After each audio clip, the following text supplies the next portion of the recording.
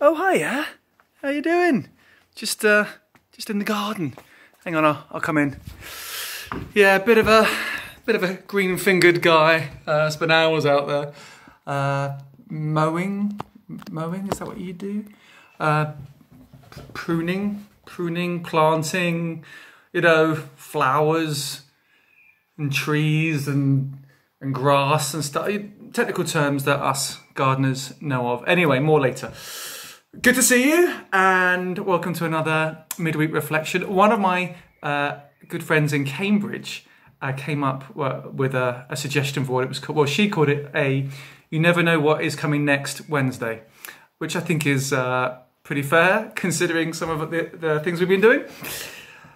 But it is it is a another Wednesday, another You Never Know What's Coming Next Wednesday. Quite tame this week.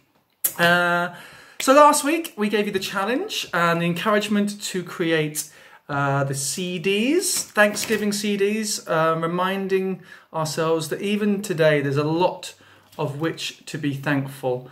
And so we um, encouraged people, forget you're on that side, to uh, use spare CDs or DVDs or ones that uh, we could provide to make them and we're going to hang them up outside some of our church buildings. Uh, thanks to, to so many of you uh, so far who've got involved. Some are still in the process of doing it. I came across uh, this one just now actually. I didn't even know this was there. This is one uh, done by Carol. Isn't that beautiful? And it says, uh, thanks for nature and the outdoors, which happens to be a good link to today's challenge in one second. So you've still got a few days to um, come up with your CDs, to come up with your things to be to be thankful for um, or thankful of.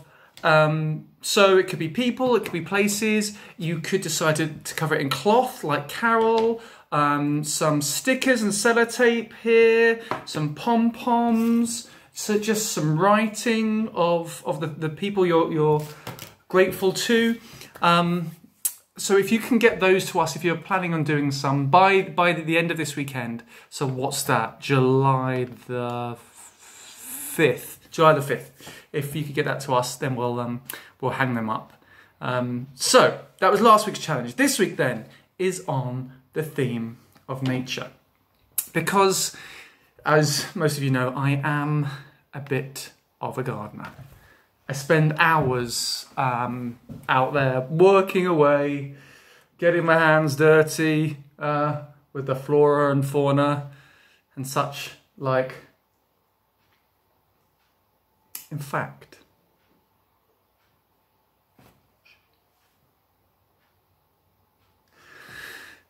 quiet please.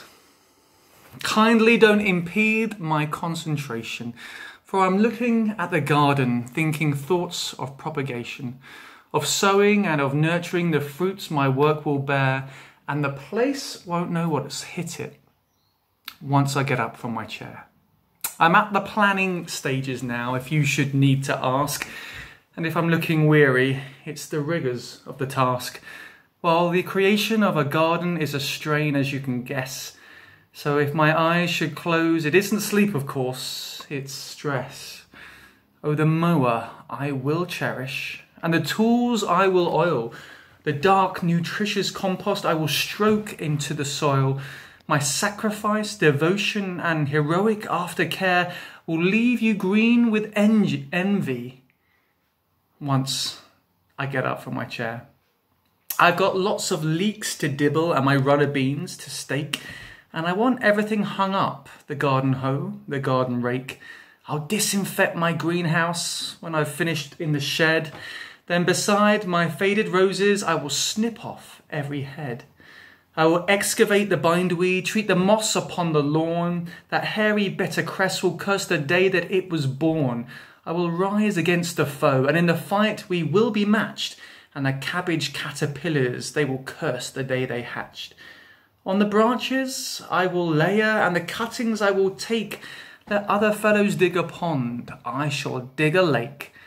My garden, what a showpiece! There'll be pilgrims come to share, and I'll bow and take my credit once I get up from my chair.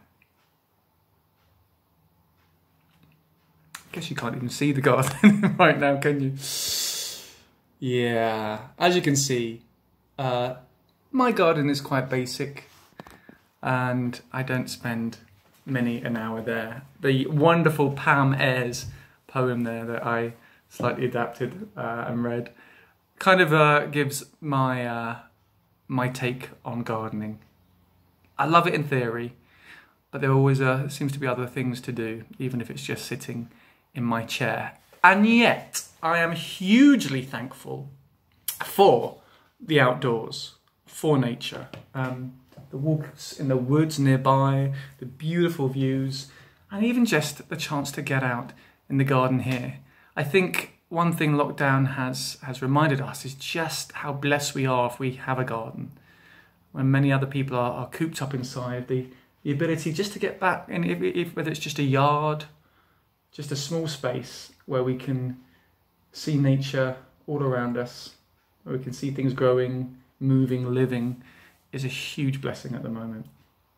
And so, inspired uh, by Marilyn Leach, who had the same idea I had, spooky, great minds clearly think alike.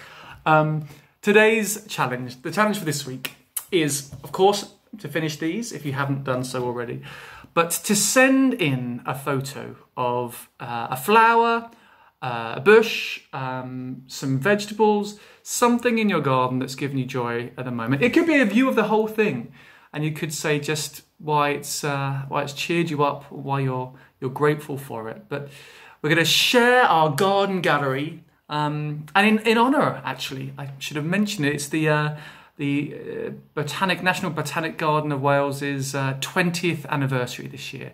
So um, we might not be able to go up there and and check it out, but we will be able to check out the beauty that is all around us in each other's gardens.